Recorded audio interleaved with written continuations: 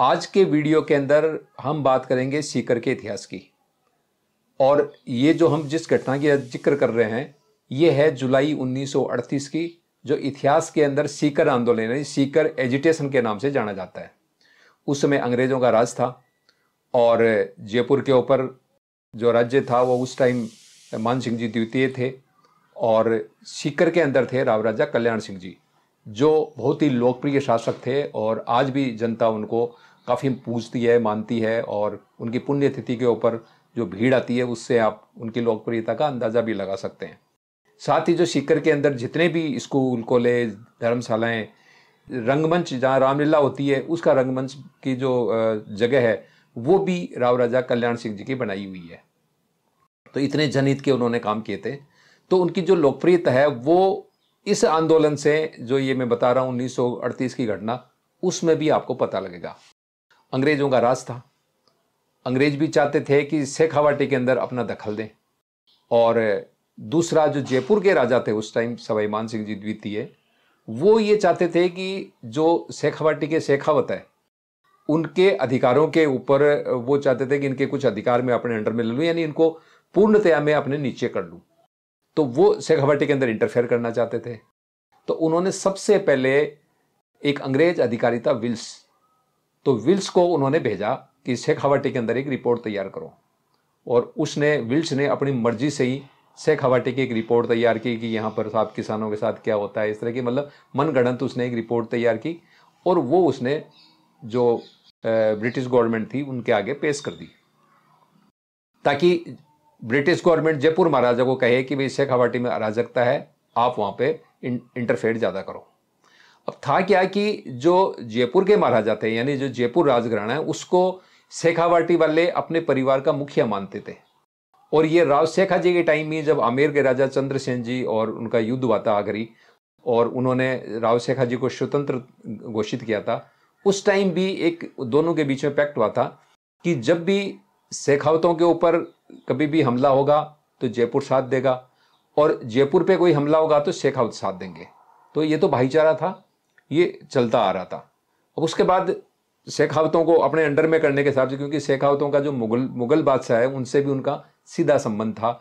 और यहाँ से जो, यहाँ शेखावटी का जो मामला होता था, यानी जो कर होता था, वो ये सीधे बादशाही खजाने के अंदर जमा कराते थे। तो जय सिंह जी के समय में, जय सिंह जी ने क्या किया कि ये जो शेखावटी से जो कर जाता था, उसका ठेका ले लिया। इजारा बोलते हैं, इजारा ले लिया कि भाई शेखावटी वालों से मैं कलेक्ट करूँगा और आपको मैं दे दूँगा। मुगलों के लिए भी अच्छी बात थी कि भाई ये आपस में भाई भाई सल्ट लेंगे, क्योंकि होता क्या था, कई बार शेखावाटी के कई शासक इजारा देते नहीं थे, फिर मुगलों को सेना भेजनी पड़ती थी, कई बखेड़े होते थे। तो ये मामला होता था तो लोग ये सोचते थे कि भाई शेखावाटी वाले इनके अधीन है, लेकिन अधीन थे ही नहीं जयपुर के। सिर्फ़ परिवार के मुखिया थे, बड़े भाई थे तो उनका साथ देते थे हर मामले में। बात आते हैं उन्नीस सौ अड़तीस की घटना के ऊपर। उस टाइम क्या जो राव राजा कल्याण सिंह जी थे उनके यहाँ इन्होंने हस्तक्षेप करना शुरू किया। पहले एक दो अंग्रेज़ अफसरों को उन्होंने यहाँ पे अपॉइंट किया, अपने हिसाब से करवाया। विल्स की रिपोर्ट हुई उसके बाद अंग्रेज़ दो, एक दो अधिकारी थे, उनको अपॉइंटमेंट करवाया। तो राव राजा कल्याण सिंह जी ने उनकी, उनको माना नहीं एक्सेप्ट नहीं किया। तो फिर बाद में उन्होंने कैप्टन वेब को यहाँ पर एजेंट बना करके भेज दिया। कैप्टन वेब भी मान सिंह जी का आदमी था। वो भी यहाँ पर काफ़ी मतलब उसने हरकतें की, काफ़ी गड़बड़ की उसने। और वो हमेशा मतलब सैलरी वगैरह सारी सीकर ठिकाने से लेता था। और जो वफादारी है वो जयपुर की या फिर ब्रिटिश गवर्नमेंट की करता था। अब दोनों के अंदर ये अधिकारों को लेकर के रस्सा खसी चल रही थी। इस बीच में क्या हुआ कि सीकर के जो राजकुमार थे हरदयाल सिंह जी, उनको वो चाहते थे, सवाई मान सिंह जी, कि मैं उनको इंग्लैंड में पढ़ाऊँ। ये मेरे साथ रहे तो कम से कम ये मेरे हिसाब से चले। और मेयो कॉलेज से हरदयाल सिंह जी को कैप्टन वेब डायरेक्ट ले आया। वो सीकर के राजा को जची नहीं। क्योंकि सीकर के जो राजा थे, उन्होंने धारंगद्रा कोई स्टेट थी, उसके राजकुमारी से सगाई की हुई थी। और वे ये चाहते थे कि भाई, शादी से पहले मैं राजकुमार को इंग्लैंड नहीं भेजूं। और वो यहीं पढ़ाना चाहते थे उनको। जबकि जो जयपुर के महाराजा थे, वो ये चाहते थे कि वो अपने किसी और संबंधी की बेटी से सीकर के राजकुमार की शादी चाहते थे। वो इन्होंने मना कर दिया कि भाई हमारे यहाँ तो जो यहाँ की जो एक परिषद होती थी, चार पाँच लोग होते थे अलग अलग कास्टों के वो तय करते थे। तो उन्होंने तय किया कि भाई जो जबान दे दी राजा साहब ने, वही होना चाहिए। अब बात ये आ गई कि चलो, उस टाइम राजा महाराजा दो दो, तीन तीन शादियाँ करते थे।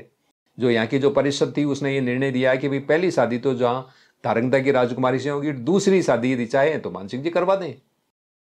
अब दूसरी शादी करने का मतलब होता था कि जो राज्य मिलता था, वो तो जो पहली रानी होती थी, यानी बड़े पुत्र को मिलता था। तो पहले जो शादी होगी तो पुत्र उसको पैदा होगा तो राज्य तो उसके पास जाएगा। लेकिन जो दूसरी जो शादी होती थी, उसमें दिक्कत यह थी कि हर घराना यह चाहता था कि भाई मेरी बेटी से जो पैदा हो, वो राजकुमार वहाँ का राजा बने। तो सेकंड वाले के लिए तो ऑप्शन ही नहीं होता। तो ये एक विवाद का एक और कारण था। तो ये विवाद इतना बढ़ गया कि जयपुर के महाराजा मान सिंह जी ने सीकर के राव राजा कल्याण सिंह जी को गिरफ़्तार करने के लिए अपनी सेना और पुलिस भेज दी। अब साहब, जब ये पता लगा यहाँ की सीकर की जनता को तो वो भी, उन्होंने भी तैयारी कर ली। तो सबसे पहले तो क्या हुआ कि जो सीकरगढ़ के अंदर तीन हज़ार सिपाही थे, राजपूत और कायम खानी मुस्लिम, उन्होंने अपनी मोर्चाबंदी कर ली। ऊपर जो छोटे मोटे उनके पास जितनी भी तोपें थी, वो गढ़ के ऊपर उन्होंने तैनात कर दी और जो मुख्य दरवाजे होते थे दर, उनके ऊपर गर्म पानी के कढ़ाई लगा दिए गर्म तेल करने लग गए कि भाई यदि यहाँ से जयपुर की सेना घुसती है तो उनके ऊपर डाल करके राजा साहब को बचाया जाएगा मतलब मुकाबला किया जाएगा। लेकिन इसमें जो सबसे जो बड़ी बात थी वो ये थी कि जो सीकर की जनता थी उन्होंने वो राजा जी के पक्ष के अंदर एकजुट हो गई। गाँव से जत्थे के जत्थे आने लगे जिसके हाथ में किसी का लठ है किसी के हाथ में तलवार है किसी के हाथ में बंदूक है और वो जत्थे के जत्थे आकर के उन्होंने एक गढ़ को चारों तरफ़ से घेर लिया। मतलब उन्होंने एक सुरक्षा की एक लेयर और बना दी। मतलब अंदर तो सैनिक थे सैनिकों की थी सैनिकों के बाहर जनता तैनात हो गई कि सबसे पहले सैनिक तो बाद में लड़ेंगे सीकर के उससे पहले जयपुर की जो फौज या अंग्रेज़ों की फौज जो आएगी उस उनसे हम लड़ेंगे। आ, हमारा जो मैरोली गाँव है जो केंद्रीय मंत्री गजेंद्र सिंह जी शेखावत हैं उनका जो गाँव है वहाँ से लोग सबसे ज़्यादा आए। तो जितने वहाँ के जो राजपूत है, वो सारे के सारे मैरोली से रिंगस आए और रिंगस से ट्रेन भर करके वो शिकर कूच करने लगे। अब अंग्रेज़ों ने क्या किया कि जो गोरिया स्टेशन है, उसके ऊपर जो डिब्बे थे रेल के, उन पर लॉक लगा दिया। और जैसे ही वो ट्रेन सीकर पहुँची तो फायरिंग शुरू कर दी उनके ऊपर। मतलब ताला लगा हुआ बाहर से और फायरिंग शुरू कर दी। तो एक नातू सर के थे, बिरजू सिंह जी। उन्होंने, उनके पास बंदूक थी और उन्होंने गोली चलाई। तो उस समय आईजी था यंग। तो आईजी यंग के टॉप को छू करके वो गोली निकली। और जवाबी फायरिंग के अंदर जो बिरजू सिंह जी थे, नातू सर के, उनका निधन हो गया। तो ये इस तरह से एक ज़बरदस्त ये हुआ और ये जो गोलीकांड हुआ, वहाँ पे जो इन्होंने चलाई अंग्रेज़ सिपाहियों ने और जयपुर की फौज ने जो गोलियाँ चलाई तो उसकी जो गूंज है वो पूरे देश के अंदर गूंजी। बीबीसी ने भी इस समाचार को प्रसारित किया। यहाँ के जितने भी जो अपने समाज समाचार पत्र हैं, उनके अंदर इनकी, इसकी खबर छपी। और इवन महात्मा गांधी को भी पता लगा, और जो सुभाष चंद्र बोस थे, उन्होंने भी इस घटना की भर्त्सना की और शिकर को उन्होंने समर्थन दिया। मतलब राजा के पक्ष में उन्होंने समर्थन दिया। और उसी टाइम जो जमनालाल सेठ थे, आप, आपने जमनालाल जी बजाज का नाम सुना होगा वो उस समय के स्वतंत्रता सेनानी थे, वो कैलकट्टा में थे। उनको जब इस पूरी घटना का पता लगा तो वो भी शिकर आए, क्योंकि वो शिकर के रहने वाले थे। तो ये जो घटना थी, इसका जो बड़ा कारण था, वो सीकर के अंदर प्रशासनिक और जो आंतरिक उनके मामले थे, यानी घरेलू पारिवारिक थे, उसमें जयपुर का हस्तक्षेप। ये तो सबसे बड़ा कारण था। और इस मामले के अंदर जो सबसे जो खुराफाती थे लोग, वो एक तो कैप्टन वेब था, और एक कंवरलाल बाफना थे। इनके बारे के अंदर जो महावीर जी पुरोहित है, उन्होंने सीकर के इतिहास के अंदर लिखा है कि कंवरपाल बाफना भी एक उच्च अधिकारी थे और वो भी कैप्टन वेब के साथ थे। मतलब सीकर से तनख्वाह लेते थे और साथ में गद्दारी करते थे। तो इस तरह से ये, इन्होंने ये घटना की। अब जब ये सारी चीज़ें आई तो उनको सब गिरफ़्तार करेंगे, सब कुछ आ गया। लेकिन जो जयपुर के राजा थे, उन्होंने एक दल भेजा यहाँ पर। उस दल के अंदर थे, एक तो पाटन के राव साहब थे और एक डिग्गी के ठाकुर साहब थे, एक कैप्टन चमन सिंह जी थे, आईजी यंग था और ये कैप्टन वेब तो यहाँ सीकर में था ही। तो इन्होंने राजा साहब को बुलाया चर्चा करने के लिए। तो राजा साहब गए, यहाँ पर देवीपुरा के अंदर एक कोठी थी, माधव निवास सब तो शायद वो है नहीं, ढा दी गई। उस कोठी के अंदर इनकी वार्ता हुई। तो उस टाइम रानी जो सीकर की थी, वो बीमार थी। तो कल्याण सिंह जी ने ये कहा कि भाई, रानी बीमार है, इसलिए मैं अभी आपके साथ कहीं चल नहीं सकता। और आपको यदि कोई दिक्कत है तो ये जो भी है डिगी के ठाकुर साहब वगैरह हैं, वो जाकर के गढ़ के अंदर जाए और रानी से मिल करके उनका हालचाल देख लें। तो उनका ये मकसद था, जो आए थे कैप्टन वेब और ये जो आईजी यंग आए थे, इन्होंने कहा कि किसी तरह इनको अरेस्ट कर लें। तो जब राजा साहब वहाँ से उठ के चलने लगे तो कैप्टन वेब ने उनका हाथ पकड़ा। तो उसी टाइम दुजोद के थे एक राम सिंह जी। उन्होंने झटके से जो है कैप्टन वेब का हाथ उन्होंने झटका देकर छुड़ा दिया और उसके बाद तुरंत राव राजा कल्याण सिंह जी गाड़ी में बैठे और उनका जो ड्राइवर था, वो भी काफ़ी चतुर था। वो स्पीड से उसने गाड़ी उठाई और वो सीधा गढ़ के अंदर ले गया और उसके बाद जनता चारों तरफ़ हो गई। अब ये हुआ कि वो ये सारे अंग्रेज़ अधिकारी चाहते थे कि राजा साहब जयपुर चलें। अब राजा साहब मान भी गए कि भाई ठीक है, जयपुर चलने में, वार्ता करने में मान सिंह जी से क्या दिक्कत है? लेकिन जो सीकर की जनता थी, उनको ये आशंका थी कि कहीं इनके साथ अनहोनी नहीं हो जाए। तो राव राजा साहब जब चलने लगे तो अपनी गाड़ी से जब निकले तो जनता उनकी गाड़ी के आगे सो जाती थी कि हम तो नहीं जाने देंगे। अब उनको ले जाए कैसे? ये बड़ी समस्या थी। तो ये देखिए, जनता का आप प्रेम देखिए। तो साला सरबत स्टैंड के ऊपर काफ़ी लोग इकट्ठे थे। तो जो वहाँ पर दीपपुरा हाउस है उसके पास ये लोग इकट्ठे थे, जो जनता थी सीकर के चारों तरफ़ घेरा डाल करके तो वहाँ पे जयपुर वालों से इनकी भिड़ंत होगी तो वहाँ पे एक जगन्नाथ पुरोहित थे। तो उनके पास बंदूक थी, वो जयपुर की सेना से भिड़ गए और बदले के अंदर उन्होंने भी एक एक दो सिपाही को मारा और वापसी जवाबी फायरिंग के अंदर वो मारे गए और एक कासली के सरदार जी थे, वो भी वहाँ पे बलिदान हुए और एक बवनलाल जी काइस्त थे, एक नौसा जी मुसलमान थे मतलब ये चार पाँच लोग वहाँ पे मारे गए। किस लिए? राव राजा कल्याण सिंह जी की सुरक्षा के लिए। और ये जो घटना हुई, उसमें देखो एक रोचक कितना बड़ा था कि जो मैरोली के उगम सिंह जी थे, वो तो वहाँ से अपना लठ लेकर आए थे राव राजा के पक्ष में कि जयपुर की सेना से लड़ूँगा। और उनके पुत्र थे हनुमान सिंह जी, वो जयपुर की फौज में नौकरी करते थे। तो वो राव राजा को अरेस्ट करने के लिए आते हैं, नहीं मतलब पिता एक तरफ़ राजा की सुरक्षा के लिए खड़ा है और बेटा जो है उनको अरेस्ट करने के लिए आया हुआ है। तो मतलब ये एक, ये भी एक संयोग था कि मतलब एक विचित्र बात थी कि पिता तो है राजा की सुरक्षा के लिए लठ लेके खड़ा है और बेटा जो है वो राइफल लिए राजा को अरेस्ट करने के वाली जो टुकड़ी आई थी उस, उसके अंदर शामिल है। तो ये, इस तरह से मतलब ये यहाँ पे ये पूरा घटनाक्रम चला। तो जैसा कि मैंने बताया कि ये जब घटना समाचार पत्रों में सब जगह छपी तो जो जमला लाल जी बजाज थे वो कैलकट्टा थे और वो कैलकट्टा से यहाँ आए।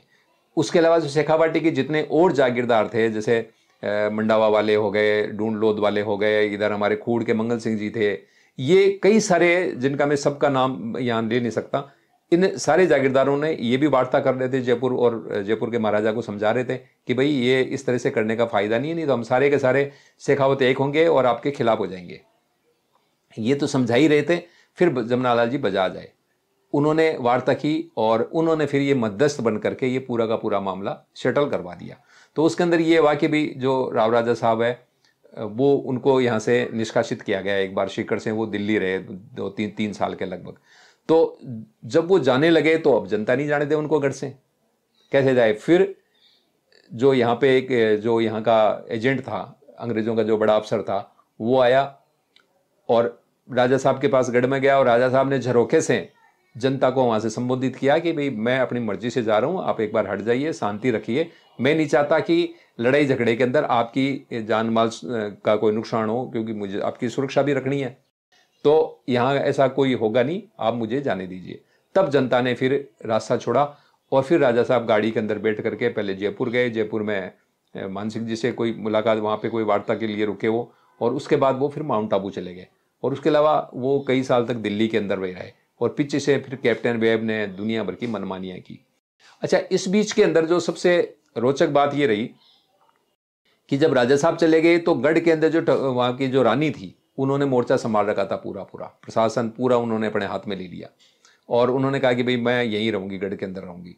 और कहते हैं कि जब जमनालाल जी बजाज ने महात्मा गांधी से बात करी और भी जो कांग्रेस के नेता थे, उनसे बात करी, उनका समर्थन भी लिया तो कस्तूरबा गांधी वो सीकर आई और वो आकर के वो गढ़ के अंदर गई और रानी साहिबा को कहा कि भाई, आप यहाँ पर सुरक्षित नहीं हैं, आप गढ़ छोड़ के बाहर आ जाइए। तो आपकी सुरक्षा भी होनी चाहिए, शांति शांति रहे।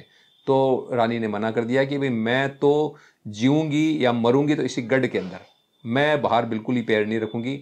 ये मैं क्योंकि क्षत्राणी हूँ और मुझे इस बात से कोई फ़र्क नहीं पड़ता कि मेरे साथ क्या होने वाला है। चाहे मुझे कोई मार दें या छोड़ दें, मुझे कोई फ़र्क नहीं पड़ेगा। मैं जब तक हूँ, मैं अपनी जनता के साथ रहूँगी, जनता की सेवा करूँगी और मैं गढ़ के अंदर ही रहूँगी। जनता मेरे साथ है, मुझे किसी का डर नहीं है। तो ये जितने भी लोग कहते हैं ना कि राजा लोग ये थे, वो थे, उनके खिलाफ दुनिया भर का दुष्प्रचार किया जाता है कि उन्होंने शोषण किया, वो किया। यदि ऐसा शोषण करते तो सीकर की जो जनता है, उनको बचाने के लिए आती क्या? और सिर्फ़ राजपूत नहीं आए? सारी जनता आई थी। अब मैंने बताया ना कि कायस्त भी मरे ब्राह्मण पुरोहित ने भी वहाँ पे जान दी, मुसलमानों ने भी दी। एक मुस्लिम लेडी थी, उसको तो ये लगा कि पता नहीं धन की ज़रूरत पड़ जाए तो वो इतिहास के अंदर लिखा हुआ है कि वो पूरे के पूरे अपने गहने लेकर के पहुँच गई थी रानी के पास में कि साहब, ये लीजिए, सीकर की नाक नहीं कटनी चाहिए। तो क्योंकि वो जनता उस टाइम उनका देश सीकर ही था, उनको ये लगता था कि हमारी सीकर की नाक नहीं कटनी चाहिए। कुछ भी हो जाए, सीकर का हल्का नहीं होना चाहिए। तो ये भावनाएँ थी राजाओं के प्रति। तो ये तो एक उदाहरण है कि प्रजा किस तरह से अपने राजा के साथ प्यार करती थी। शायद आप समझ गए होंगे, क्योंकि ये जितना भी आज़ादी के बाद में जो दुष्प्रचार किया गया, लेकिन इतिहास के अंदर जब आप जाएँगे तो आपको ये घटनाएँ मिलेगी। ये जो इतिहास है, ये शेखावाटी का राजनीतिक इतिहास, उसके अंदर भी ये लिखा हुआ है, और इसके इसके ऊपर काफ़ी जो लंबा सबसे जो प्रकाश डाला है, वो डाला है महावीर जी पुरोहित ने। उन्होंने जो शिखर का इतिहास लिखा है उसके अंदर उन्होंने काफ़ी अच्छी डिटेल से इसके ऊपर प्रकाश डाला है। तो आप इन पुस्तकों को, इनका जो मुझे, मेरा ये संदर्भ समझ लीजिए कि मैंने इन पुस्तकों के, यानी शेखावाटी का राजनीतिक इतिहास, सीकर का इतिहास और जो महावीर जी पुरोहित की जो किताब है, ये तीन चार जो किताबें हैं, इनसे ये सारी स्टोरी मैंने लेकर के आपको सुनाई है, शायद आपको पसंद आई होगी। अगले वीडियो के अंदर हम, मैं फिर इसी तरह की कोई स्टोरी लेकर के हाजिर हूँगा तब तक के लिए धन्यवाद। जय हिंद, जय भारत। जय राजपुताना.